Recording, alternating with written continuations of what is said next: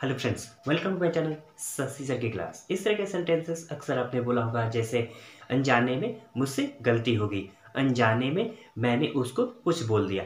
कुछ इस तरह के सेंटेंसेस को इंग्लिश में कैसे बोलते हैं? आइए इसके रूल को समझते हैं और वीडियो के लास्ट में एक क्वेश्चन होगा, जिसका रिप्लाई आपको इसी वीडियो के कमेंट सेक्शन में करना तो चलिए स्टार्ट करते हैं आज की class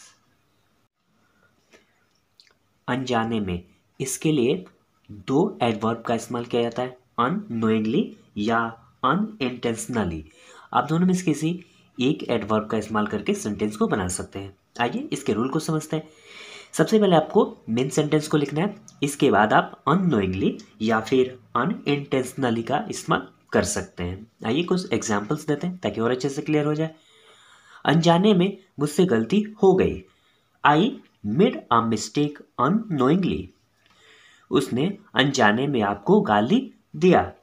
he abuse you unknowingly कुछ लोग अनजाने में ही गलती कर देते हैं। Some people make mistakes unknowingly अनजाने में आज मैंने उसको पीट दिया।